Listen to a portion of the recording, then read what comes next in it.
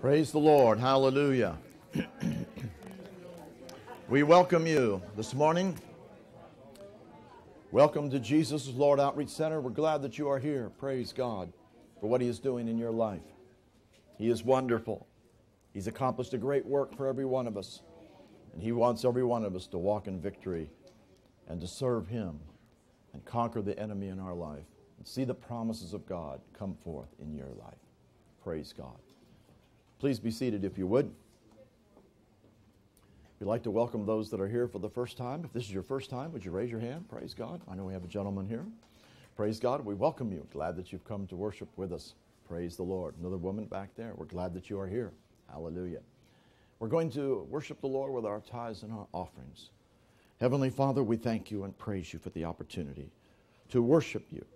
We thank you that we worship you with our tithes and offerings. We know that the tithe is holy unto you. It belongs to you. It is the tenth as you have prospered us. Father, we thank you as we bring that unto you. We know that you received that through Jesus, our high priest, who sets it before you. And we worship you, Father, and we thank you that you look down from your holy habitation, pouring out your blessings upon us.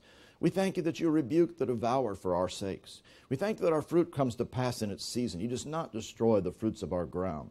We thank you that we are a blessed, delightsome land. And we thank you, Father, that you are the one who is causing all grace to abound toward us, that we have all sufficiency in all things and may be able to abound to every good work. Father, thank you for meeting the need of every individual in this place according to your riches and glory by Christ Jesus. In Jesus' name, amen. Ushers, please wait on the people, if you would, please.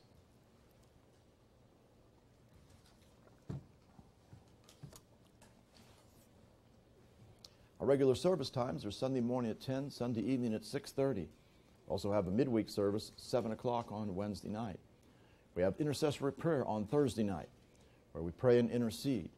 And we also have outreach ministry, going out and preaching the gospel on Friday and Saturday nights, going out and sharing the gospel with the people out there in the world to help them get born again, receive the Holy Spirit, come to the place of walking in the ways of the Lord. We also have deliverance on Saturdays, which we minister from 10:30 to 12, ministering on an ongoing basis. Now we are in the adjacent room here. Now we've got a larger room as we've added the space next door, and so we have a large room. It's not cramped anymore in the area for ministering. So we have lots of room now to minister and invite you to come. If you haven't made an appointment for deliverance, we invite you to first of all make an appointment with us where we can sit down and talk to you about the specific areas of need in your life, and then we can minister to you specifically on those areas of need. God wants us all to get delivered and set free from bondages. He wants us to be healed. He wants us to come out of everything that the enemy has brought against us, and He wants us to enter into all the promises of God, enter into His spiritual rest. The Lord is good, and His mercy endures forever, and it's ready every morning to minister unto you as you do what His Word says. Praise God. We're going to pray for all men and then pray for our nation before we get into the Word. Heavenly Father, we just pray for every person that's never received Jesus Christ as personal Lord and Savior.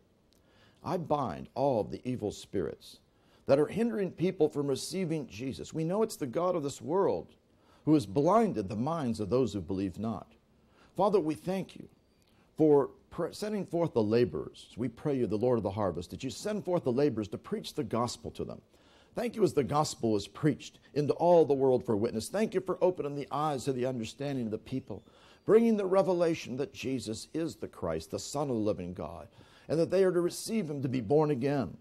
Father, thank you for bringing the multitudes to the place of understanding that he is the way, the truth, and the life. Father, we thank you for the great harvest of souls that you're bringing forth in these last days. Now, Father, we also pray for this nation. Father, we thank you that you have set us as in a position of authority. You've set us over the kingdoms and over the nations. And you said that it's our responsibility to pray, to release your power, and to use the authority delegated to us to stop the works of the enemy. We see the works of the enemy that have come into this nation, turning away from the ways of righteousness. Father, we know that righteousness is what exalts a nation, as your word says. And blessed is the nation whose God is the Lord. We declare that Jesus is Lord over this nation. And Father, we just thank you that you are mighty. We thank you that you have great wisdom. And we thank you for shaking this nation, doing whatever's necessary to overturn all of the works of the enemy. Father, we thank you that we have dominion. We bind all these principalities, powers, rulers of darkness, spiritual wickedness in the heavenly places. We cast them down and throw them down and root them out in the name of Jesus. We fall upon them to their destruction. Father, we thank you as we pray for you to send forth your warring angels, doing battle in the Spirit to stop all the works of the enemy, bring them to naught. Father, we just bind all these spirits that are working in the populace, deceiving them away from the way of righteousness. Father, thank you for shaking this nation and doing whatever is necessary to bring it to repentance. We are your intercessors and we stand in the gap, continually remitting the sin and iniquity of this nation from its founding to this moment. And Father, your word says, If my people who are called by my name shall humble themselves and pray and seek my face and turn from their wicked ways, you said you'd hear from heaven, you'd forgive us our sins, and you'd heal our land. Thank you, Father, for performing your word and bringing a healing and a restoration to righteousness and delivering us out of the evil, bringing the people to repentance and bringing forth righteousness in this nation once again. We thank you and praise you for it in Jesus' name. Amen. Praise God.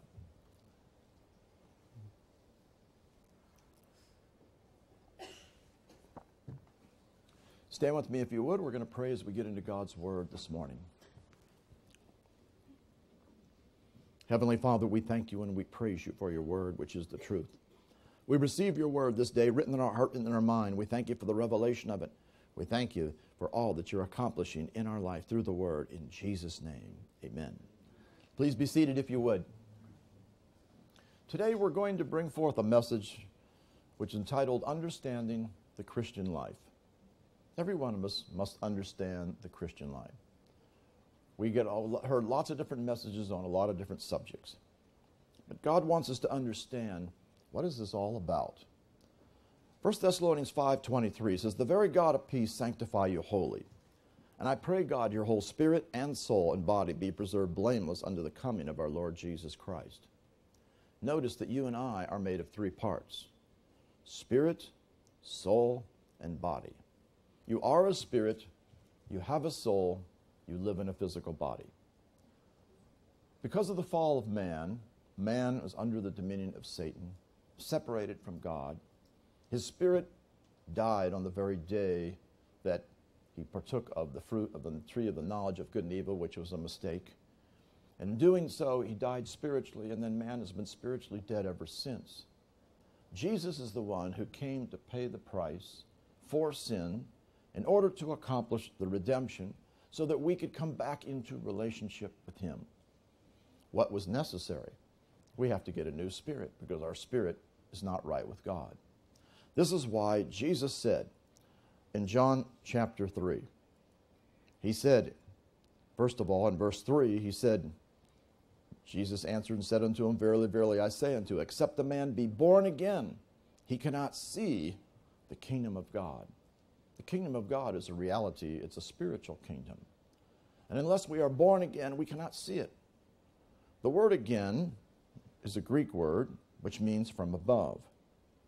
For you who are for the first time, in the lower window, we put up information as we put a cursor over the word, and you'll see the Greek word, you'll see information about that, such as the, what it really means.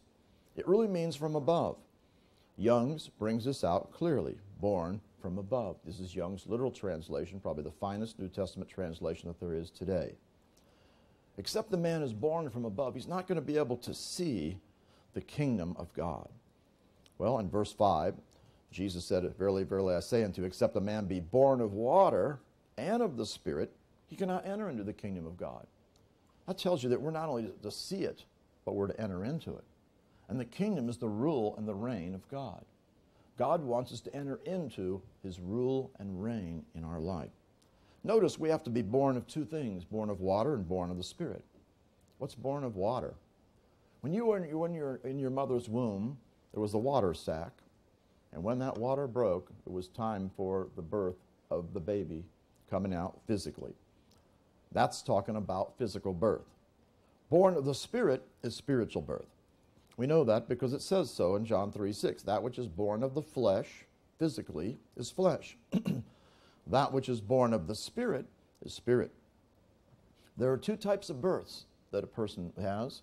Every one of us have been born physically, but not everybody's been born spiritually. Everybody must be born spiritually. In fact, Jesus made the statement Marvel not that I said unto thee, You must be born again, or born from above. Everybody has to get born from above. What happens? How do you do this?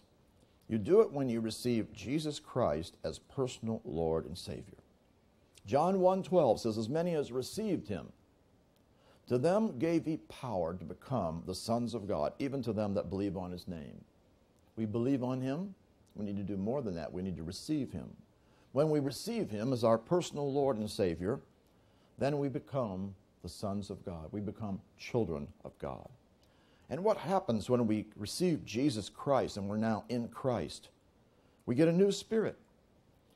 2 Corinthians chapter 5 verse 17 says, "Therefore if any man be in Christ, he's a new creature or a new creation. Something new happened. What happened? We got a new spirit on the inside of us. Because we received the spirit of Jesus Christ, a new spirit comes into us. The old spirit is eliminated. Old things are passed away. Behold, all things have become new. Where? Not in your body and not in your mind, will, or emotions, but in your spirit. You have a brand new spirit on the inside of you. You also must understand not only did you get a new spirit, but you also got a new heart.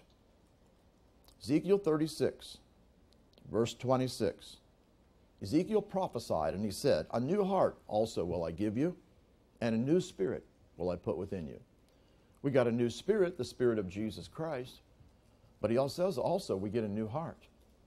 A new heart. Not talking about a physical heart, the spiritual heart, which is that which is linked to your spirit. It's of the spirit, but it's different from the spirit. Many people have thought that they're the same, but they're not. Your spirit is the spirit of Jesus Christ. There's no evil in the spirit of Jesus Christ. Your heart can have evil in it. You can have doubt in it. You can have unbelief in it. You can have all kinds of evil things into it. Your heart is what you believe with, where you are going to, which shows forth your, the real intentions, purposes, and desires on the inside of you. Your heart is what God is looking at. And that is what we had to have a new heart. So we got a new spirit, and now we have a new heart. Another thing that we are to receive the Holy Spirit after we're born again. First of all, what did we get? Well, first of all, we'll go look at this next verse. He says, And I will put my spirit within you and cause you to walk in my statutes, you keep my judgments and do them. Notice, he said in verse 26, a new spirit. That's the spirit of Jesus Christ. And then he talks about my spirit. What's the my spirit? That is the Holy Spirit who is received after we are born again. And that is important. You see, you must understand that you got the Spirit of Jesus Christ when you're born again. Galatians 4, verse 6. Because you're sons, God has sent forth the Spirit of His Son into your hearts. What do you get? The Spirit of Jesus Christ that comes from Him into your hearts, crying, Abba, Father. The Holy Spirit is received after you are born again. We see in Acts chapter 8. In Acts chapter 8 and verse 5, the Bible speaks about Philip going down to the city of Samaria and preaching Christ unto them. The people with one accord gave heed to the things that Philip spake. They believed the things that he spoke. In fact, it even talks about because they believed what he was preaching concerning the kingdom of God and the name of Jesus, where they could call on the name of the Lord. They were baptized, both men and women. So these people were born again and they were baptized. Well, had they had the, got the Holy Spirit yet? No. Because in verse 14, when the apostles at Jerusalem heard that Samaria had received the word of God, they sent unto them Peter and John, who, when they were come down, prayed for them that they might receive the Holy Ghost or the Holy Spirit. For as yet it was fallen upon none of them, only they were baptized in the name of the Lord Jesus. So we receive the Holy Spirit after we are born again. If you've never received the Holy Spirit since you've been born again, that is important. We invite you to come up at the end of the service so we can pray for you to receive the Holy Spirit on the inside of you. We see one other case over in Acts chapter 19, in verse 2. When Paul found some disciples at Ephesus and he said to them, Have you received the Holy Ghost since you believed? They were believers. And he says, Have you received the Holy Spirit since you believe? They said unto them, We've not so much as heard whether there be any Holy Spirit. They didn't know anything about it. Did they do? They ended up receiving the Holy Spirit. Verse 6 Paul laid his hands upon them, the Holy Ghost came on them, they spake with tongues and prophesied. Once you have the Holy Spirit within you, you now have a prayer language, a spiritual prayer language, which comes from the Holy Spirit within you, which is praying in tongues. It is a prayer language. And God wants everyone to have the prayer language. We see in 1 Corinthians 14, verse 15, it says, What is it then? I will pray with the Spirit. There's one way you can pray with your spirit. And I will also pray with the understanding also. The word understanding is a Greek word nous, which means mind. So it's referring to praying with your mind. That means according to your known language. So I'm going to pray with my spirit, that's the new spirit I have on the inside of me, and I'm also going to pray with my mind. What does it mean to pray with my spirit? If I pray in an unknown tongue, my spirit prayeth. Your spirit prays when you pray in this unknown language, which is praying in tongues. It is a spiritual prayer language. And he says, My mind is unfruitful. You don't know what you're praying. Why would I want to pray in a language that I don't know? Because you're praying according to what the Holy Spirit will pray through you, because the language comes from the Holy Spirit within you. When you are praying in this language, you are releasing what God the Holy Spirit would pray through you, which is going to be directed by God. So it's going to be a perfect prayer. It's going to be a prayer directed by Him, praying for things that you and I don't even know what to pray for.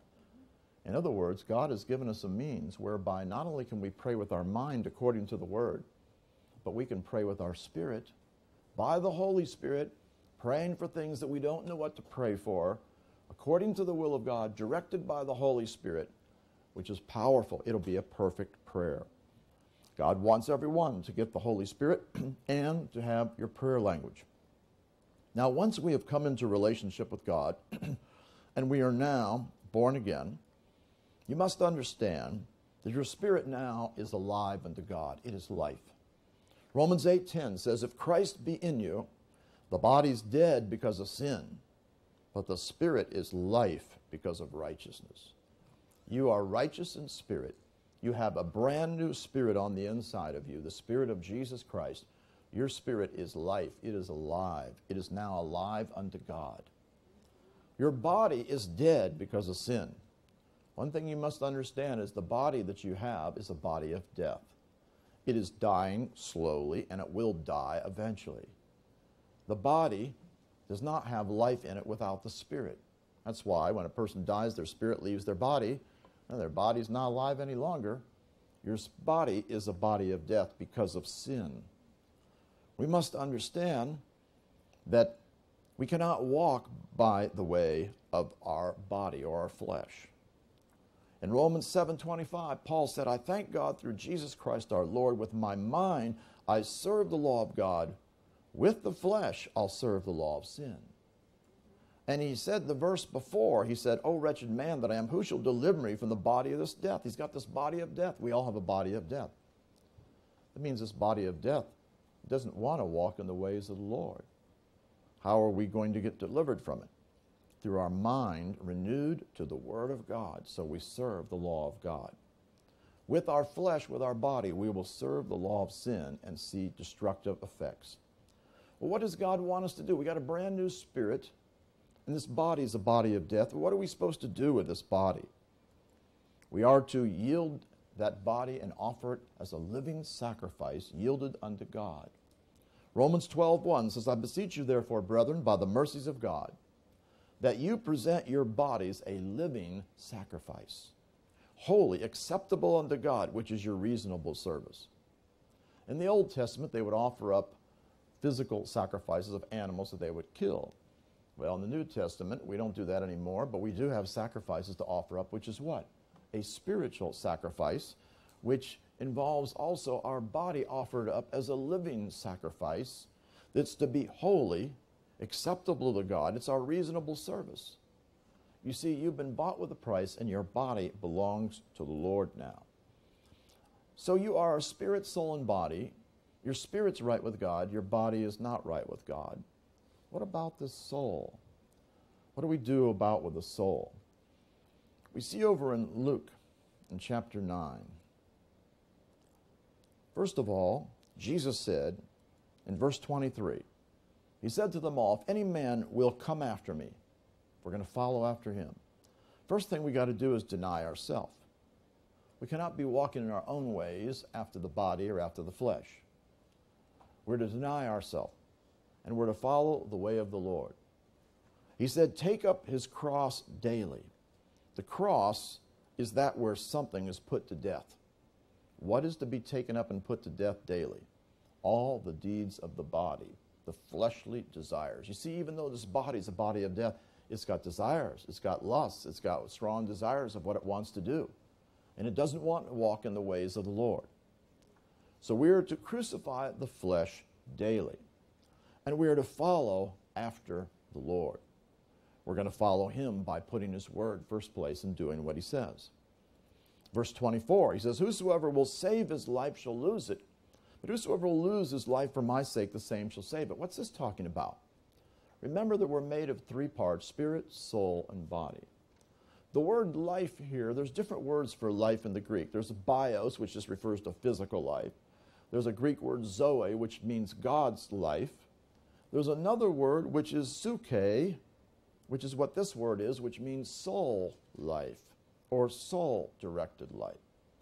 My spirit is changed, my body is not. My spirit's ready to walk in God's ways, my body does not want to walk in God's ways. The battleground it comes in the area of the soul because your soul's made up of your will, your intellect, and your emotions. The way you choose, the way you think and reason, and the way you feel, your area of your personality if you try to save, keep safe, your psuche, soul realm directed life, you're going to destroy it. Lose it. It's a little bit light. It actually is the word apollumi, which means you're going to destroy it. But whosoever will destroy his soul realm directed life, same word, psuche, for my sake, the same shall save it. Why is that? because your soul is not what you are now to live by. You're to live by the Spirit. You are to walk in the realm of the Spirit. At the same time, your soul is going to be involved in this because that's where the, your mind is and where your will is, so you make choices. In fact, the battleground is in the area of the soul. The enemy will try to work and get you through lust of the flesh or thoughts contrary to his word to do things contrary to what he wants and to walk after the flesh, walk in the ways of sin, walk contrary to his word, and he'll bring you into bondage. Satan is your adversary, see? And so the ball game comes down to are we going to walk in the spirit or are we going to walk after the flesh? Are we going to walk in God's ways or are we going to walk after man's ways from sinful flesh? Because sin dwells in the flesh, you must understand. We see this over in Romans in chapter 17 when Paul was talking about the problem that he had. He says in Romans 7:18, I know that in me, that is in my flesh, dwells no good thing, for the will is present with me. In your body dwells no good thing. It's your spirit that is right with God. And of course, he says down here in verse, back here in verse uh, about sin dwelling in his flesh. He says it here. I see another member, law in my members, warring against the law in my mind, bringing me into captivity to the law of sin, which is in my members, in that body. Sin is dwelling in the flesh. We cannot allow ourselves to walk after the flesh. We are now going to walk after the Spirit. And the soul is where the battleground comes your mind, your will, your emotions. They must be yielded to the Spirit instead of yielding it to the flesh, and that is so important. This is why you've got to deny yourself. Can you walk and follow the Lord if you just do whatever you want to do? No. 2 Corinthians 5:15 that he died for all speaking of Jesus that they which live and the ones who live he's speaking of are those who are born again who've come into relationship with him now should not henceforth live unto themselves. We cannot live unto ourselves any longer. But now we live unto him which died for them and rose again. You see, before we were born again, we were under the dominion of Satan. Satan was the God of this world, he was the spiritual father of mankind.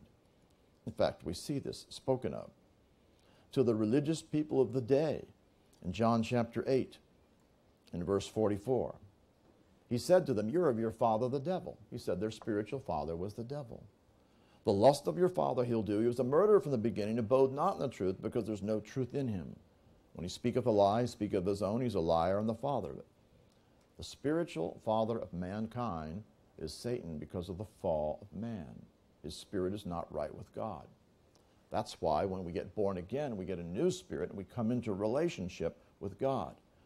So we are now to walk after the way of the Spirit. We see a scripture over in Galatians chapter 5 that also clearly shows this battle that goes on. He says, This I say then, walk in the Spirit, and you shall not fulfill the lust of the flesh, the strong desire. Lust means strong desire. So the key is are you going to walk in the Spirit, do what's in the Spirit, or are you going to walk after the flesh and do whatever your body or strong desires want to do? They are warring against each other. The flesh lusts against the spirit, the spirit against the flesh. They're contrary the one to the other. Now, by the way, the word uh, spirit here is capitalized in these versions, but there's no capital letter in the Greek. It should be simply talking about your spirit, not talking about the Holy Spirit. It's talking about your spirit. Your flesh is against your spirit. You got a new spirit, but not a new body. The spirit's against the flesh. They're contrary the one to the other, so you cannot do the things that you would. He tries to stop you from walking in the ways of the Lord. This is why we must walk after the ways of the Spirit. Now, another thing that you must realize you have now been purchased. The day that you received Jesus Christ as your personal Lord and Savior, something happened. Not only did you get a new spirit, but the whole you was purchased by the Lord. 1 Corinthians 6:18 says, "What? Know ye not that your body is the temple of the Holy Ghost which is in you, which you have of God, and you are not your own." We're not our own anymore. You see, you're under a spiritual authority. Man's not controlling himself. Either he's Satan has been controlling him because of sin driving him, or God is going to lead us and guide us. We are not our own, we are purchased. It goes on and says, You're bought with a price. What was the price? The blood of Jesus. Paying the price for sin, accomplished redemption. We are purchased. Therefore, glorify God in your body and in your spirit, which are God's. Now you say the spirit's right with God, but the body's not right with God. Well, we're going to glorify Him in our spirit by walking in the Spirit after the Word. How can we glorify Him in our body? By not giving place to this body and let it run us and drive us into the ways of sin.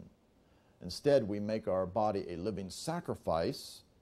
We give it, yield it unto the Lord, but we're going to walk not by the body, we're going to walk by the Spirit as we walk in line with God's Word. You are purchased.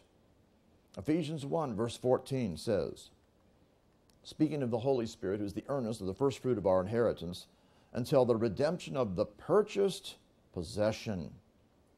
You and I are purchased. We belong to Him. That's what it means to be redeemed. We have been redeemed, we have been purchased, we have been bought with a price, the blood of Jesus. Now that we have come into relationship with Him, our spirit is right with God, our body is body of death, got sin dwelling in it, our soul is where the battleground comes down to. Are we going to yield to the Lord? Are we going to choose His way or not? You must understand that you've come into a covenant relationship with God. In Hebrews chapter 8, it speaks of Jesus now in a new ministry. It says, Now he's obtained a more excellent ministry by how much also he's the mediator of a better covenant established upon better promises. That's the New Testament. We're not under the Old Testament any longer. The Old Testament was made for man after the flesh with all of its fleshly ordinances in order simply to, for man to deal, God to deal with man, to bring down the messianic lineage which brought Jesus, who was the seed, to come forth in the earth. Jesus came and fulfilled the Old Testament, and he brought us into the New Testament now, which is the true Testament, the true covenant relationship that brings us for those who are born again after the Spirit. Now he's obtained a more excellent ministry, by much he's the mediator of a better covenant, established on better promises. In fact, we see, if we read on through here, the first covenant, if it had been faultless, with no reason for the second, we wouldn't have sought for the second. The first covenant was had fault because it was made between God and a man, Abram, who could not keep that covenant, and he would fail. But the new covenant is made between God and the man Christ Jesus, who did not ever break it and never failed. It is a perfect covenant. So the second has come into being. He said, Finding fault with them, behold, the days come, saith the Lord, I'll make a new covenant with the house of Israel and the house of Judah. This was prophesied back in Jeremiah, declaring this new covenant is going to come. He says, Not according to the covenant that I made with their fathers in the day when I took them by the hand to lead them out of the land of Egypt, because they continued not in my covenant, and I regarded them not. They couldn't keep the covenant. So a new covenant had to come, and that was what God planned, which is a new covenant, to bring us into relationship through Jesus Christ, into the new covenant. This is the covenant that I'll make with the house of Israel after those days, saith the Lord. And what is this new covenant that we've come into? How did you get into it? The day you got born again, you came into covenant relationship with Him because you got a new spirit, the Spirit of Jesus Christ. Now He says, I'm going to put my laws in their mind and write them in their hearts. And I'll be to them a God, and they shall be to me a people. In Hebrews 10 16, it says the reverse, or the opposite. This is the covenant that I'll make with them after those days, saith the Lord. I'll put my laws into their hearts, and in their minds will I write them.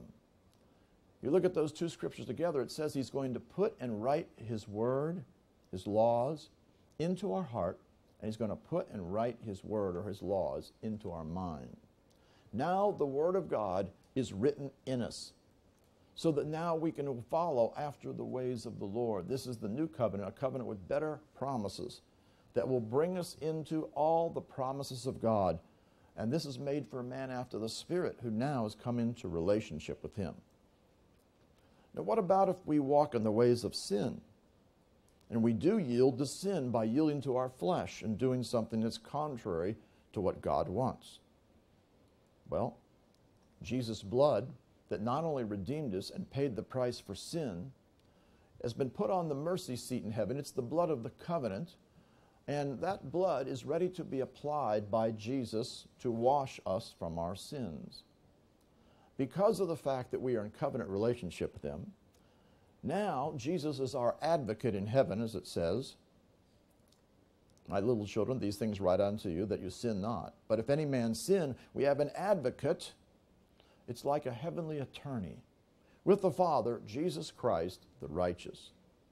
Jesus is now seated at the right hand of the Father. He is the righteous one. He is the intercessor. He is the heavenly attorney for us. He's our advocate. Now, what do we do? If we sin, if we confess our sins to Him, He's faithful and just to forgive us our sins and to cleanse us from all unrighteousness. We confess our sins to God and Jesus is the one who is faithful and just. He will forgive us our sins and He will cleanse us from all unrighteousness by the blood of Jesus that's applied. And your sins will be washed away so that you come back into fellowship with the Lord. The way the blood of Jesus continually applied in our life is if we continue to walk in the Word. The Word of God is the light. 1 John 1 7, if we walk in the light as He is in the light, we have fellowship one with another. And the blood of Jesus Christ, his Son, cleanseth us from all sin. So if you walk in the light, walk in the Word continually, then you're having fellowship with God and with one another. And the blood of Jesus Christ cleanses. When I put the cursor over the word cleanseth, this is a present tense verb. Now, verbs in the Greek have tense voice and mood, and they're very ex- exp- important to see what's being said so we understand what's, what's specifically being revealed. The tense, the present tense, means continuous, ongoing, repeated action, which means the blood of Jesus Christ continually keeps us cleansed from all sin when we are walking in the light. Otherwise, it's continually applied. Who applies it? Jesus does. We don't do anything with it. Jesus applies the blood when we walk in the light. Or if we confess our sins, then he will, of course, apply the blood which will cleanse us from all unrighteousness. And so we are right with him. And when you have the blood of Jesus applied, God will remember your sins no more. Hebrews 8:12 I'll be merciful to their unrighteousness and their sins and iniquities will I remember no more. In the Old Testament, the law brought the knowledge of sin, and their sins were only covered over, but they weren't washed away. In the New Testament, they're washed away now by the blood of Jesus. They are eliminated as if you never sinned. He remembers your sins no more. We now can, oh, oh, whenever you can uh, sin in any way, always confess your sin and receive forgiveness and cleansing. He washes your sins away he remembers them no more. Now, we must understand that when you come into relationship with the Father through Jesus Christ, He now is your Heavenly Father. And John, we saw in verse 6, while, while we got the Spirit of His Son into our hearts crying, Abba, Father, now God is our Heavenly Father. We have a relationship with Him. Wherefore, you're no more a servant as they were in the Old Testament, but now you're a son. Sons have rights and privileges. You now are in sonship, a child of God. And if a son, then an heir of God through Christ. You also are an heir of God. You have an inheritance. You are an heir. All the things that, uh, that belong to you are now rightfully yours as an heir of God through Jesus Christ. The Bible speaks over in Romans chapter 8, verse 17. If children, then heirs. You're born again, you're an heir. You're an heir of God. And furthermore, you're a joint heir with Jesus, with Christ. Meaning that all the things that he is an heir of, you're an heir of. And this is all what belongs to you through the covenant relationship that you've been brought into. What is Jesus an heir of? Hebrews chapter 1, verse 2. It says in these last days, He's spoken to us by His Son, whom He's appointed heir of all things. Jesus is an heir of all things. What's that make you? An heir of all things. All the promises of God. We're talking about the spiritual promises of God. See, the Word of God is spiritual revelation of the ways of the Lord. Now you have an inheritance. All the promises of God belong to you. 2 Corinthians 1, verse 20. All the promises of God in him are yea, yes, and in him amen, under the glory of God by us. All the promises have been given to us, and they're yes. God is not holding anything back. He's given you every promise. And these promises are blessings. We see in Ephesians 1 3. Blessed be the God and Father of our Lord Jesus Christ, who hath blessed us with all spiritual blessings in heavenly places in Christ. That means you have been blessed with all spiritual blessings. That tells you the blessings are spiritual blessings. They'll manifest in the natural, but they're spiritual blessings. And where are they? They're in heavenly places in Christ because the new covenant is a document in heaven, in the true tabernacle, which is in heaven. And now, all these blessings have been given unto you. They belong to you in Jesus Christ.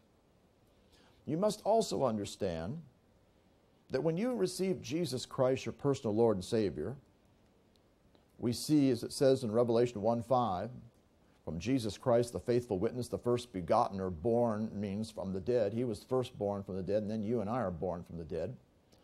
And the prince or the ruler of the kings of the earth, he's the ruler. Unto him that loved us and he washed us from our own sins in his own blood because he, he paid the price. And now he redeemed us so we could be free from sin. He said also what else he did. He made us kings and priests unto God. You got to understand now, you are a king and a priest unto God. A king rules, and a priest has the means to be able to come into the very presence of God. The priesthood are those who could approach God in the Old Testament. Now, you and I are priests unto God. We see this over in 1 Peter chapter 2 and in verse 5. He says, you, you also as lively stones. What does that mean? Living stones. It's stones like we're stones in the spiritual house of God. Jesus is the cornerstone of that house. You and I are living stones, all a part of that spiritual house of God. And we are built up a spiritual house. We are being built up, this means, because this shows the process of this work in your life, because this is a present tense verb. Are being built up a spiritual house, a holy priesthood, to offer up spiritual sacrifices acceptable to God by Jesus Christ. You are now a holy priest before God. You now can minister unto the Lord, come into the presence of God. You can have fellowship with Him. You offer up spiritual sacrifices to Him. You can come boldly to the throne of grace and pray and take hold of His mercy now.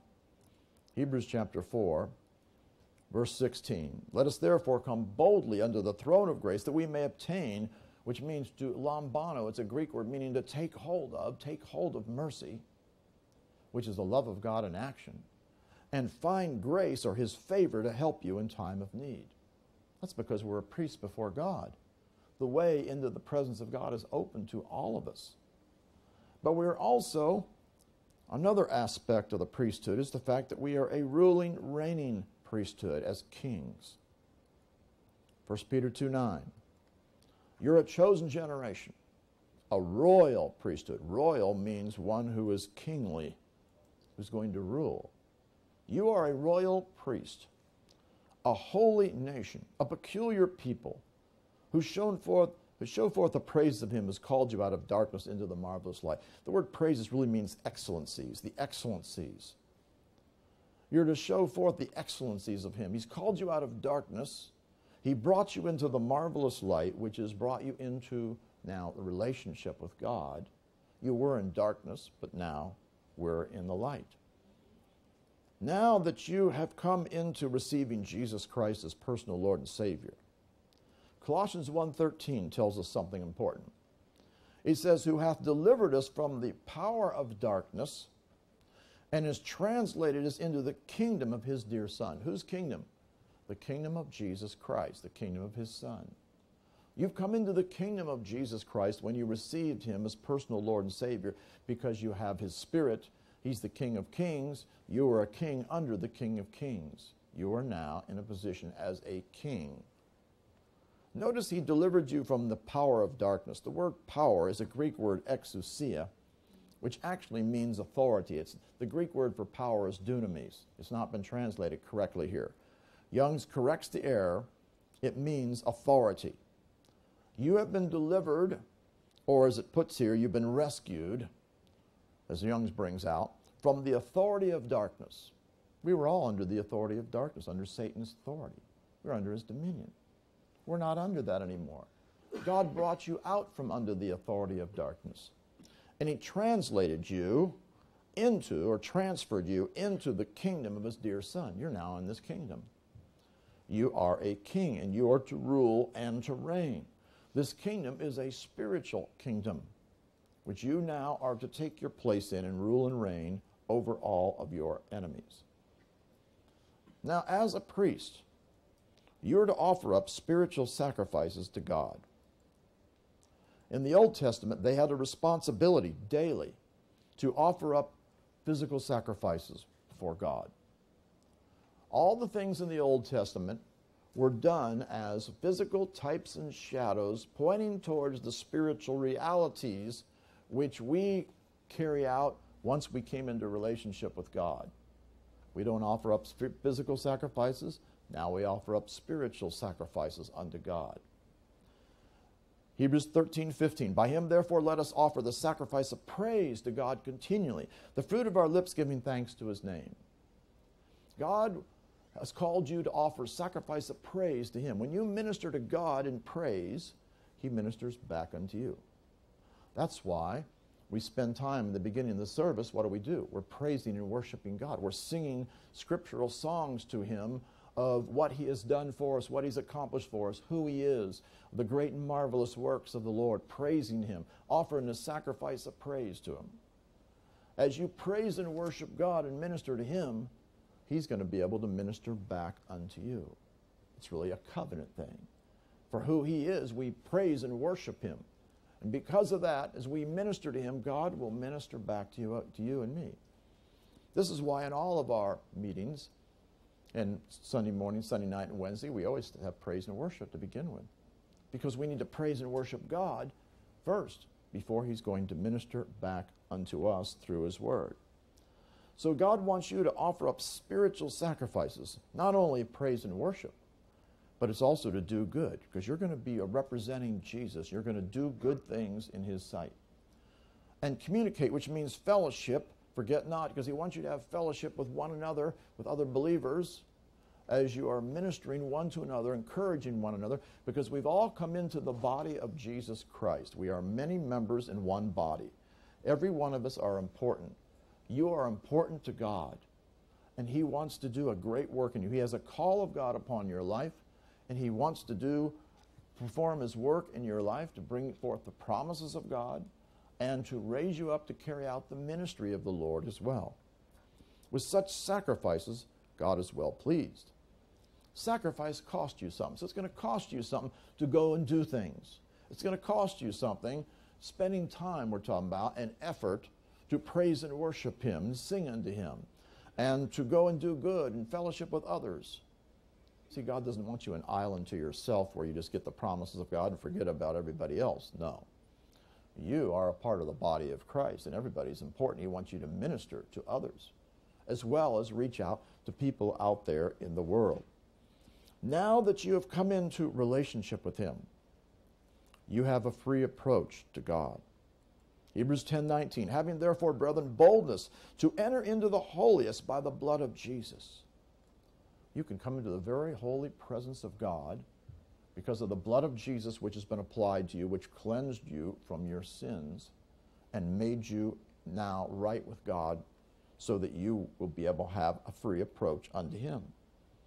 In fact, in verse 22, let us draw near with a true heart and full assurance of faith, having our hearts sprinkled from an evil conscience, our bodies washed with pure water. There's been a change on the inside of us.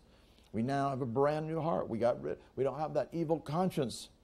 Our bodies washed with pure water, as it says. We've come into relationship with Him. So now we can hold fast our profession of our faith without wavering. We can now walk in fellowship with the Lord as we come to Him. We also see that because Jesus is now in heaven, you and I can come boldly to the throne of grace, Hebrews 4:16, to obtain mercy. And the reason is because of what Jesus is doing. Hebrews 4:14 says we have a great high priest that's passed into the heavens, Jesus the Son of God. What is Jesus doing today? He's not sitting up there doing nothing. He's the high priest over the covenant. He is the Lord over the church. And he is taking what we speak, what we pray, what we confess, and he takes that and confesses it before the Father, and he confesses it before the angels to put the angels in operation. As it says, Jesus now is the Son of God, the great high priest. He's the high priest over the covenant. You and I are priests before God. Let us hold fast our profession or speaking forth the confession of the Word of God as we speak things into being. And that is important to understand. Now, you are the spiritual house of God now. Hebrews 10:21 says having a high priest over the house of God. Who's the high priest? Jesus is. Who's the house of God? All of us are the house of God. He now comes and dwell in us. Corporately, Jesus is the cornerstone. We are all living stones in the corporate body of Christ. Specifically, though, you and I are the house of God, and we are to be build up this spiritual, builded up this spiritual house in our life. The Bible talks about in Hebrews chapter 3, in verse 6, Christ as a son over his own house. Whose house are we if we hold fast the confidence and rejoice in the hope firm unto the end? We're going to hold fast, and what is that hope, that confidence? It's in the Word of God and the covenant relationship we have with Him and all the things that He's promised, which gives us hope firm unto the end of all the things He says He'll bring to pass. You and I are the house of God, and He wants us to build this spiritual house in our life. You see, we have built something. We need to build the spiritual house of God. We see it's all happening through the word in your life. Luke 6:47 he says whosoever cometh to me and heareth my sayings and doeth them I'll show you to him whom he's like. He's like a man who built a house. We're building a spiritual house. And he digged deep and he laid a foundation on a rock.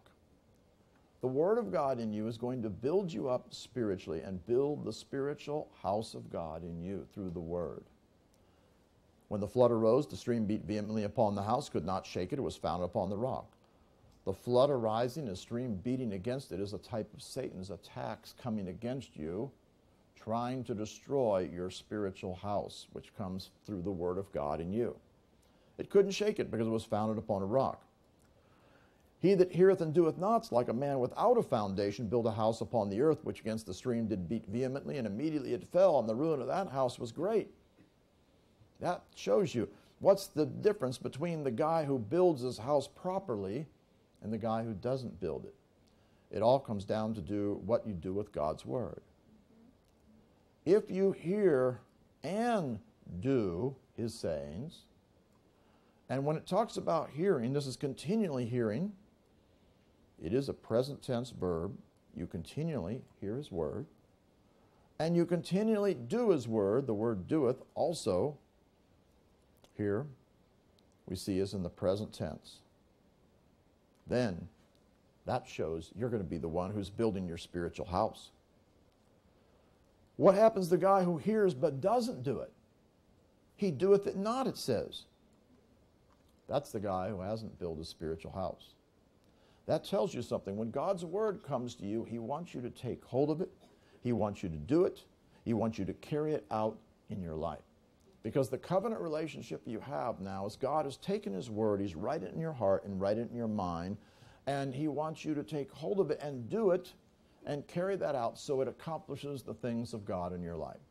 God's word produces life in you as you hear and you do what the word says.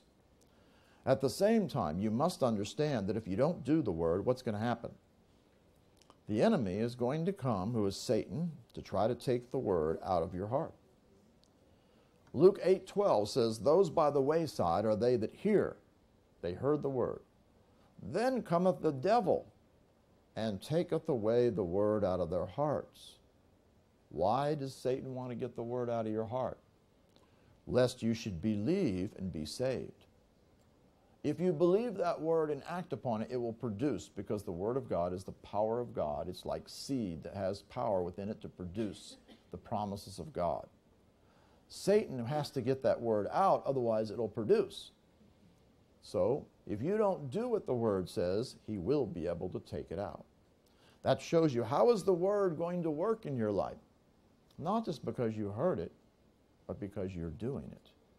You're applying it in your life and doing what the Word says.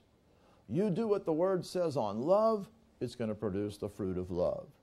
You do what the Word says on peace, it's going to produce peace in your life. If you don't do what it says, it's going to be taken out and you won't see that fruit come forth in your life. It comes down to what are we doing with this Word? And we must understand the Word is the Word of the covenant. God has brought you into covenant relationship with Him. And that is important for you to understand. The title of the book is Old Testament and New Testament. What is a testament? It is a covenant. There was the Old Covenant, now we have the New Covenant. And this New Covenant He says he's remembered his covenant forever, the word which he commanded to a thousand generations. The covenant relationship, how does it work? Through the word of the covenant. God's word is the word of the covenant. And the covenant relationship is between God and Jesus. Say, what's that got to do with me? When you receive Jesus, you're in the same place that He is, so you're in the covenant relationship. Now the covenant's between God the Father and you, because you are now in Christ. You have His Spirit. And the Word of God is what God looks after and what He's going to perform in your life. The Word is the revelation of all the things about God, about who He is, what His promises are, all the things that He tells you to do. It, it reveals conditions, things that you and I must walk after. It reveals the ways of the Spirit. In fact, we see over in John chapter 6, verse 63. It's the Spirit that quickeneth. The Spirit's what's alive. The flesh, your body, profits nothing because it's got sin dwelling in it. You can't walk by it. The words that I speak unto you, what are they? They're spirit, they're spiritual words, and they are life. They will bring forth God's life in you. They are spiritual law. This is why now in the New Testament, as a Christian, what's this Christian life all about? It's coming into spiritual relationship with God because the spiritual realm is the real realm that dominates everything. God is a spirit. Angels that serve him are spirits. Satan is a fallen angel, a spirit. The evil spirits that serve him are evil spirits that rebelled against God. So everything is in the spirit. You and I are a spirit, and God's word is spirit. The words that I speak into, they're spirit, they're spiritual law and spiritual revelation. When you walk in the ways of the word, that's how you walk in the spirit. If you do what the word says, you're doing the things of the spirit. If you're not doing what the word says, if you're walking after the flesh, doing what you want to do, you're not walking in the spirit, you're walking after the way of the flesh, which is going to be a way of sin. This is why we got to deny ourselves and take up our cross daily and crucify the flesh. You must also understand you have an adversary. Who is your adversary? 1 Peter chapter 5, verse 8 makes it very clear. Be sober, be vigilant, because your adversary, the devil, Satan is the devil, just another name for him. He's the adversary, as a roaring lion, walketh about seeking whom he may devour. That shows you something. He's active. He wants to devour you. He wants to destroy you. He wants to cause all kinds of problems in your life. In fact, showing the difference between what Satan wants to do and what God wants to do through Jesus. John 10:10, 10, 10, the thief, that's Satan, cometh not but for to steal and to kill and destroy. I, that's Jesus, who came, and he was the express person of the Father. He represented him and brought forth all the will of the Father. I am come that they might have life the Zoe life of God, and life more abundantly. Every bit of stealing, killing, and destruction in your life has been a work of the devil, whether it's physically, mentally, emotionally, financially, socially, whatever it's happening. Physical disease is destroying your health. That's a work of destruction. Bondages in areas of your life through evil spirits is a work of destruction. It is stealing, it is robbing you in some ways from having peace and having victory in your life. God wants you to have a sound mind. He wants you to be at health. He wants you to be victorious. So the enemy comes to steal, kill, and destroy. God not only has brought you into relationship with Him so that you have approach to Him, remember, He made you a king. And He's also made you more than a conqueror. If we look back here in verse 35, it makes a statement of Romans 8. Who shall separate us from the love of Christ? Who would try to do that? The devil, because he doesn't want us to see the blessings of God come forth and possess the promises. He's going to use all these different things tribulation, which is pressure, distress, persecution, famine, nakedness, peril, sword, anything he can to try to stop you from seeing the love of Christ bring forth God's blessings in your life. As it's written, For thy sake we're killed all the day long, we're accounted as sheep for the slaughter. Who views us that way? The devil views you as sheep for the slaughter. Remember, Jesus is the great shepherd of the sheep. You and I are sheep. And sheep are to follow the shepherd doing what he says. The devil considers you a sheep for the slaughter. He wants to destroy you. Anything that's coming, that's bringing some destructive effect, it's coming from the devil against you. Nay, in all these things, we're more than conquerors through him that loved us. You are more than a conqueror. You are able to conquer the enemy. Now, how are you going to be able to do this? You're going to do it through Jesus Christ, who has made you a king. And what do you do as you're a king? Kings rule and reign. And how do they do that? They do that because they have authority.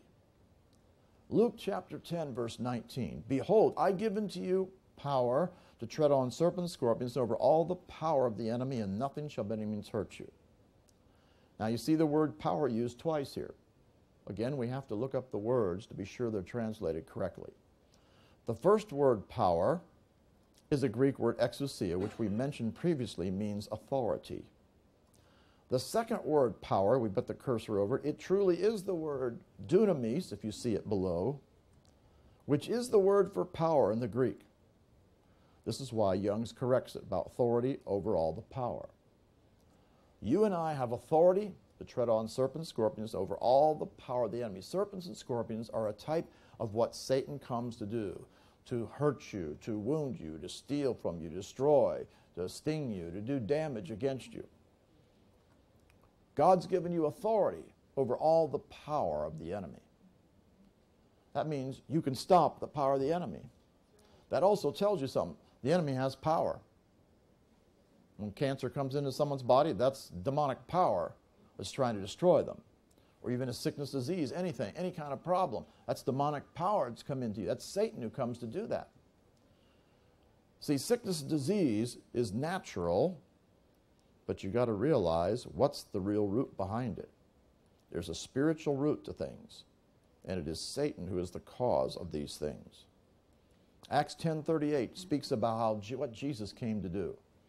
How God anointed Jesus of Nazareth with the Holy Ghost and with power, who went about doing good, healing all that were oppressed of the devil. Sickness and disease was oppression of the devil. Oppression is a word katadunasteuo, which means having power over or power against in the Greek. He, had, he has power against us when he brings sickness and disease into us. Well, God wants us to be healed. Jesus comes to heal us. Healing is a promise of God that belongs to us as a Christian. You and I can be healed of all sickness and all disease, but you've got to use your authority. Now, regarding the enemy, how he works, how does he work? Well, one of the ways he works is you've got to give place to him. He can attack you directly, but most things come in because of yielding to the enemy. Ephesians 4:27 says, "Neither give place to the devil." The word place is a Greek word topos, which means an inhabited place, a place where something can come to reside within you. You give place to the devil when you sin. When you sin, the door is open for the devil to come into you to cause problems in your life. And that's exactly what happens. Evil spirits will come into a person. We see over in Ecclesiastes chapter 10 a statement that's made in verse 8, the second part of this verse. Whoso breaks a hedge, a serpent shall bite him. What would break the hedge or the spiritual hedge of protection? Sin. Sin opens the door spiritually and breaks the spiritual hedge. And what can happen? A serpent, which is a type of Satan, he's the great serpent. A serpent is a type of an evil spirit, will be able to come in and affect you. Here it says he's going to bite him, he's going to come, he's going to get to you and come in. Evil spirits come into us. This is why, what is the first sign following the believer after they get born again? Look what it says in Mark 16, 17. These signs shall follow them that believe. In my name they shall cast out devils. How does this authority work in the kingdom as a king? You've been given the name of Jesus as the power of attorney. When you speak in the name of Jesus, you are releasing the authority delegated to you, and you are releasing that authority and power to destroy the works of the enemy. You and I can cast out devils or evil spirits out of us as we command them to come out of us in the name of Jesus. You command these evil spirits to come out, and they will begin to come out of you and start to deliver you from these bondages. God does not want us to walk in the ways of sin. Now remember, Satan is called the God of this world. You have to understand, you've been changed. You are not born from this world system any longer under it. You're now born from above. You're under God's ways. You are a citizen of heaven now. It says in 2 Corinthians 4 4, in whom the God of this world has blinded the minds of them who believe not, lest the light of the glorious gospel of Christ, the image of God, should shine into them. The devil is the God of this world, and he tries to stop your mind from getting the truth in your in the, of the Word of God. He blinds people that don't believe. That's why when you go out and share the gospel with people, share the Word. They need to hear the Word so that then the Word will come in, the light will open up the eyes of their understanding, and their minds will not be blinded any longer. That's why we need to give them the Word. At the same time, one of the ways that Satan keeps, brings you into bondage is by getting you to walk in the ways of the world. Satan's the God of this world. You walk after his ways, you're going to walk in sin. Romans 12, 2 says, We're not to be conformed to this world any longer. No, we're to be separate from the world. We're, not, we're in the world, but we're not of the world. We're not going to walk according to God's to the world's ways any longer. We're going to walk according to God's ways. And how is this going to be able to happen? Because your mind has got to get changed. It says you're to be transformed by the renewing of your mind. Remember, we're spirit, soul, and body. Your spirit's right with God. Your body is not. It's got sin dwelling in it. The battlegrounds in the soul, which involves your will, your intellect, your mind, your emotions. What's going to be the key? You've got to get the mind renewed. Because remember, God's word is written in your heart, it's also written in your mind. In your heart, where you believe, which is where faith comes from, but your mind is important because your mind's going to influence your will to choose the way of the Spirit instead of choose the way of the flesh. That's why you got to have your mind renewed to do what God wants. You're going to be transformed, and this word is metamorpho, which we, if you remember from science class, is from where you get the word metamorphosis, the process where a caterpillar is changed into a butterfly, a new species of being. That's what's going to happen to you and me. We're not going to be a carnal minded person any longer. We're going to be a spiritually minded person. We're not going to be worldly minded. We're going to be heavenly minded. We're not going to be fleshly minded. We're going to be walking after God's ways, the way of the Spirit. You're going to be changed and transformed by the renewing. The word renewing means complete change and renovation. You've got to get complete change and renovation in your mind. If your mind is thinking after the ways of the flesh, then you're going to be walking in the flesh, walking in sin, and you're not going to see God move and operate in your life. As your mind gets renewed to the ways of the Spirit and you start doing the things that He says, then you're going to be transformed. You're going to have a spiritual mind and be able to deal with everything that comes against you. You see, we cannot walk after the ways of the world any longer. The Christian life is walking after the ways of heaven. James 4 4, he said, You adulterers and adulteries, know ye not that the friendship of the world is enmity with God? Whosoever is the friend of the world is an enemy of God. In fact, he calls us, us adulterer or adulteress spiritual adulterers or spiritual adulteresses. That's because we cannot walk after the ways of the world. God wants you to come out of the ways of the world. We're going to do things according to heaven's ways, according to God's ways. How am I going to know that? Through the Word of God. How does the world's ways works? It works through all the lusts. 1 John chapter 2, verse 15. Love not the world, neither the things that are in the world. If any man love the world, the love of the Father is not in him. For all that's in the world, how does it work? Through the lust of the flesh, the lust of the eyes, the pride of life. It's not of the Father, it's of the world. All the things that are in the Word of God are the things that are of the Father. He says, The world passeth away and the lust thereof, but he that doeth the will of God abideth forever. Because how are you going to walk in the ways of, of the Word of God and have fellowship with God and please Him and enter into all that He has for you? You're going to do the will of God. What's the will of God? His Word. His Word is His will. And we talk about doing it. This is what we're going to continually do. It's not like I do it for a moment. This is going to become your lifestyle. Present tense. You're going to continually do what the Word says. And that's going to cause you to be able to abide forever with Him. At the same time, we cannot be in compromise, one minute walking in the ways of the Lord, one minute walking a different way. You must walk the straight, narrow path. There is a narrow path. It says in Matthew 7:13, "Enter you in at the straight gate." Straight gate refers to like a narrow gate. That's what this means. Wide is the gate, and broad is the way that leads to destruction. Many there be which go in thereat. That's the way of the world, or the way of the flesh. Just walking whatever I want. And it says many people are going that way. It's not what God wants, but unfortunately, the many are doing that. He says, Straight is the gate, straight, narrow. And narrow, this word actually means pressed. It's a Greek, word thlibo, which means pressed or there will be pressure that'll come against you, tribulation. It's the word for tribulation, the form of it.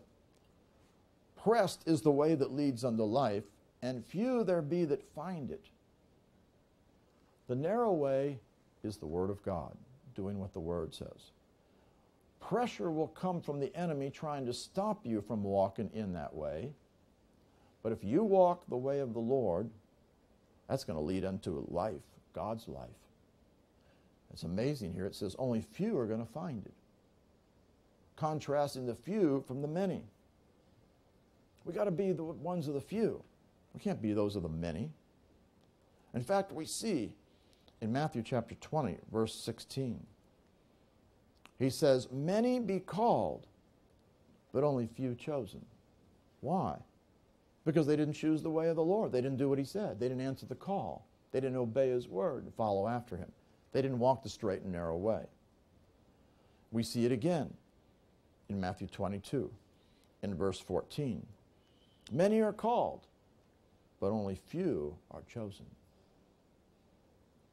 The way of, of the Lord, the Christian life, is walking in the way of the Spirit. Walking as one of the few.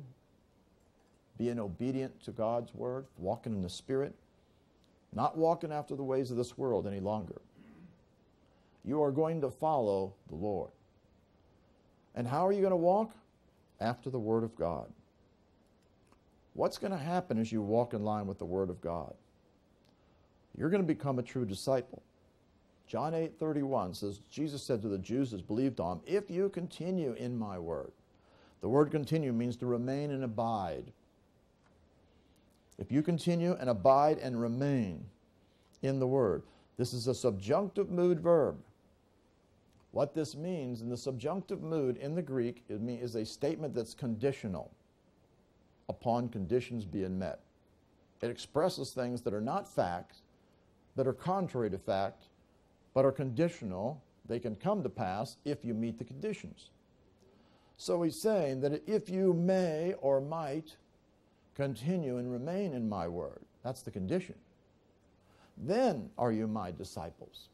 A disciple is a disciplined one. And what's going to happen? You'll know the truth, and the truth will make you free. It'll bring you to the place of being at liberty. Because God's word is going to bring liberty and freedom in your life. It's going to deliver you and heal you and restore you and bring peace and bring you out of all bondage if you walk in his ways. It's not as if I'm just going to get free and then walk in the ways of the flesh and think that I'm, everything's going to be fine. No. You got to walk the way of the Lord and follow after him. And if you're walking in the way of the Lord, you're going to be bringing forth fruit. That's how He knows us. There'll be fruit in your life. How does God know if you're walking in His ways? All he has to do is look at the fruit, look at the things that have been accomplished in your life. John 15, 1, he said, I'm the true vine and my father's the husbandman. Every branch in me, you and I are branches in the vine. Jesus is the vine. We get born again, it's like we're a branch connected to the vine now. Every branch in me that beareth not fruit, he takes away. Yeah, that's trouble. If you don't bear fruit, you're going to be taken away. Fruit comes because of the word. Every branch that beareth fruit, because he is doing the word, he purgeth it, it gets cleansed. That tells you something. Part of what's going to happen in your life is not only walking in his word and bringing forth fruit of doing what his word says, but also going through the cleansing process. What have we got to get cleansed of? We got to get cleansed of all the ways of the flesh, all the filthiness of the flesh. We got to get cleansed of all the ways of the world. We got to get cleansed, cleansed of all the ways of sin. And we got to get cleansed of all the evil spirits that come in from, from inheritance, our own sins, or victimization. We got to get cleansed of the whole deal that it may bring forth more fruit. That means if you don't go through the cleansing process, will you ever bring forth more fruit? No. You won't bring forth more fruit. And he goes on and he talks about down in verse 5, he says, I'm the vine, you're the branches. He that abideth in me. This is the same word we saw continue, the word Greek word meno, in John chapter 8, verse 31, that we just saw. He that abides or continues in me and I in him, the same bringeth forth much fruit. For without me you can do nothing. Otherwise, we go from fruit to more fruit to much fruit. That's what God is looking for in your life. If a man abide not in me, he's cast forth as a branch and is withered, and men gather them and cast them in the fire, and they're burned. Otherwise, God expects us to walk in his word continually, abide in him continually. That's what he expects.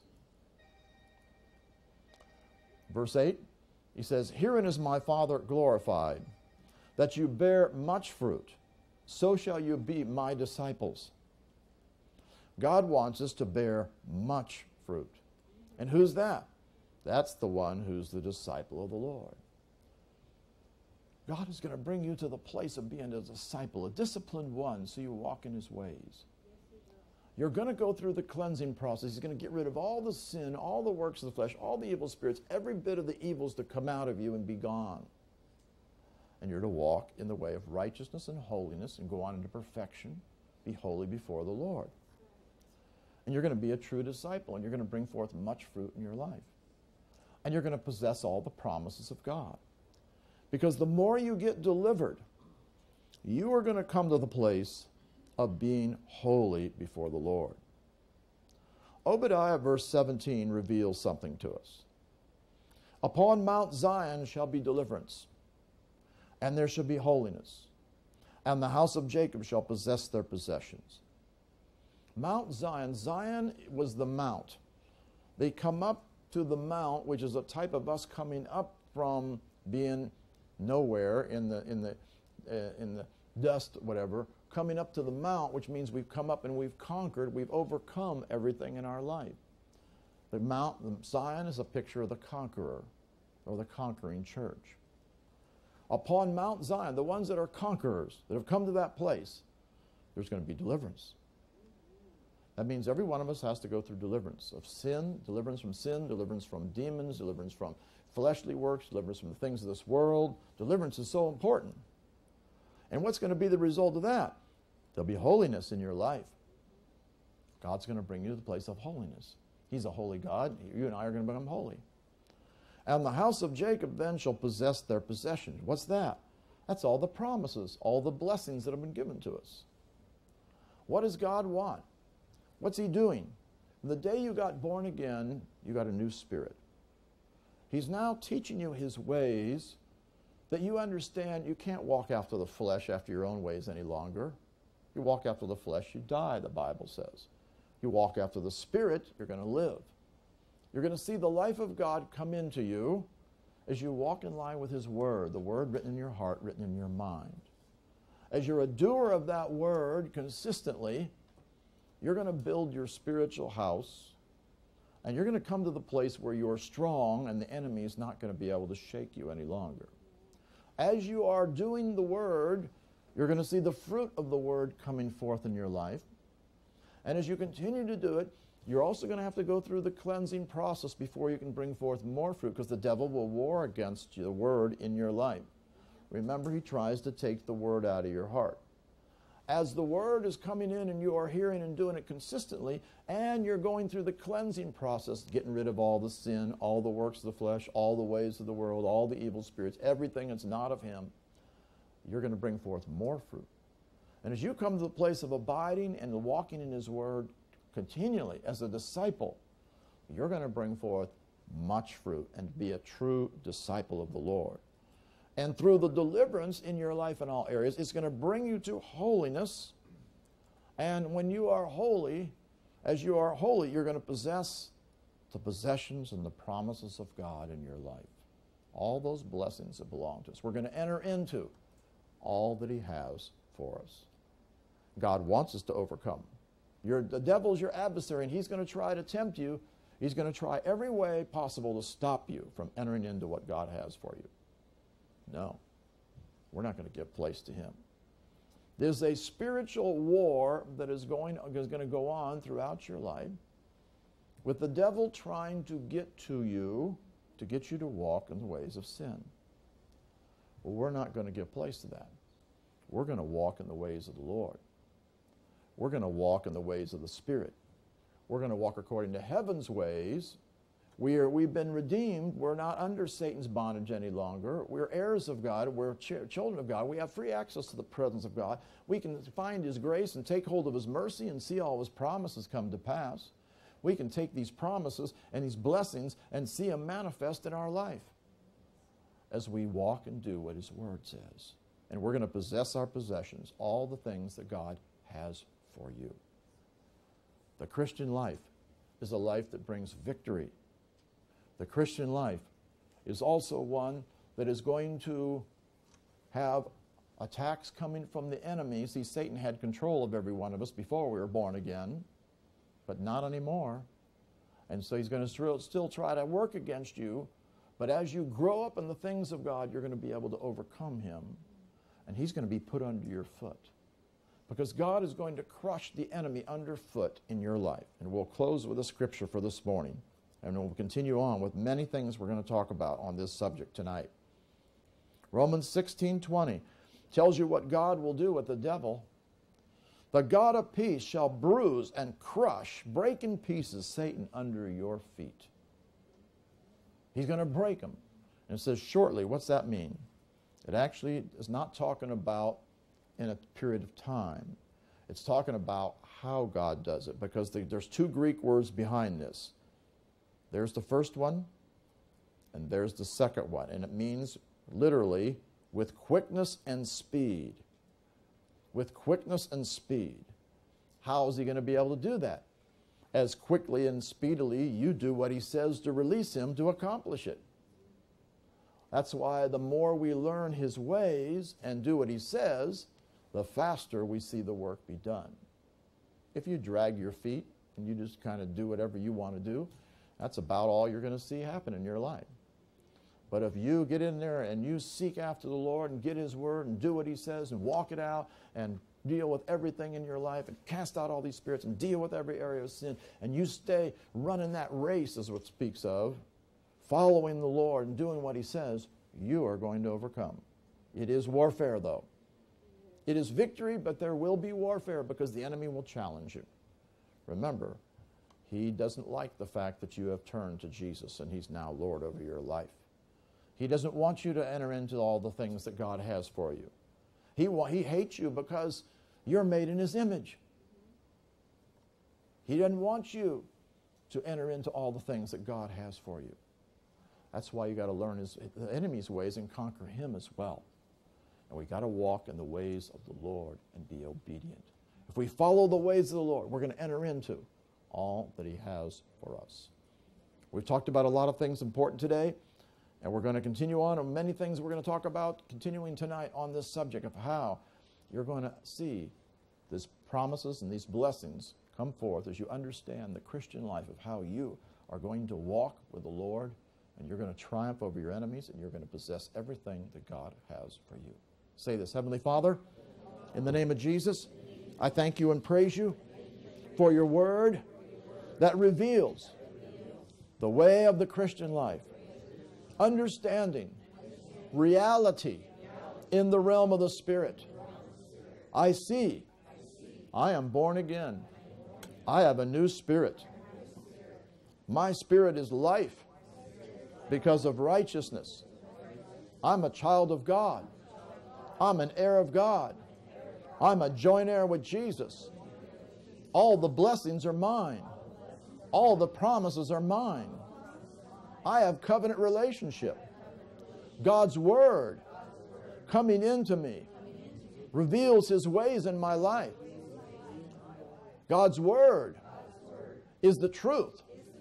As I do the word, the power of God works to bring fruit in my life. As I do what the word says, I will possess everything that he has for me, for I will bring forth fruit. As I get cleansed, purged out of everything, I will bring forth more fruit.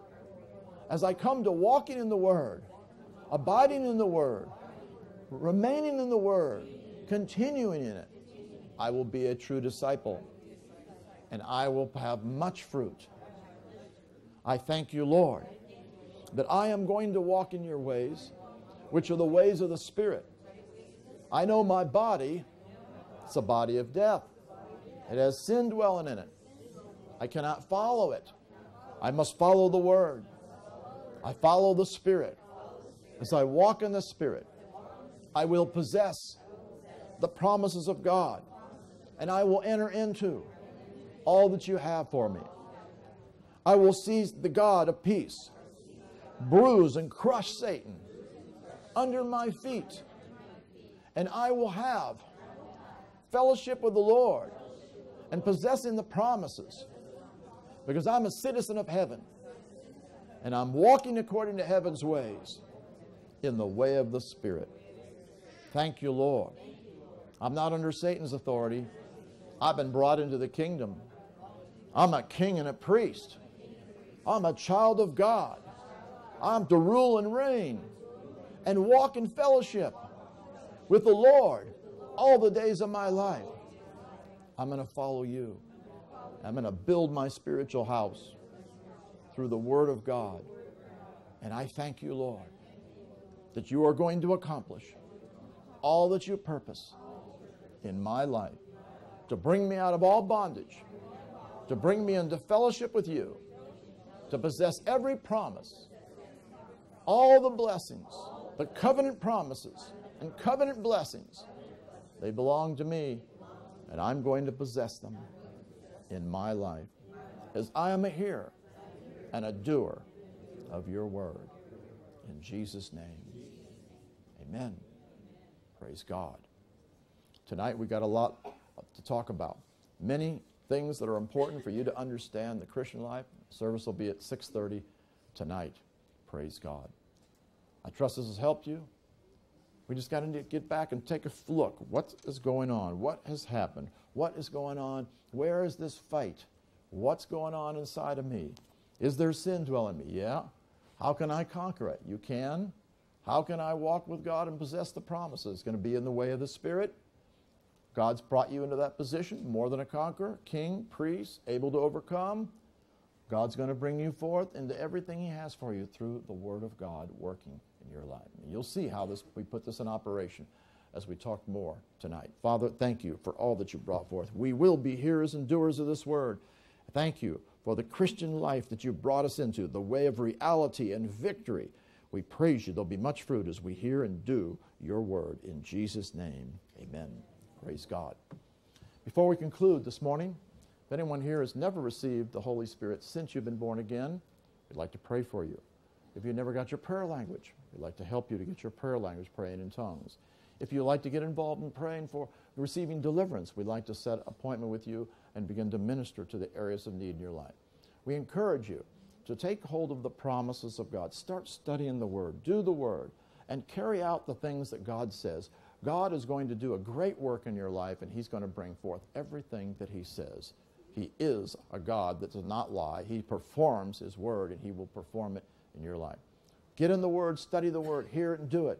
Watch God work in your life. If you need prayer, I invite you to come forward on any area, and look forward to seeing you tonight if you can make it at 6:30. God bless. You are dismissed. Praise the Lord.